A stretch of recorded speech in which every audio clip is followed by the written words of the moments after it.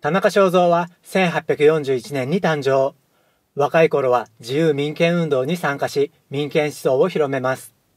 1880年、栃木県会議員に当選すると、1890年には衆議院議員に当選します。1891年、足尾銅山鉱毒事件を追及しますが、状況は改善されず、衆議院議員を辞職します。その後、事件解決のため明治天皇に直訴しようとしますが、失敗に終わりました。